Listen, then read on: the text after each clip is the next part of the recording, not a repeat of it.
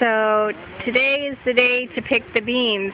So what they're doing is they're just pulling up the whole plant by the root and then they're tying them. And then you can see these ones that are left here.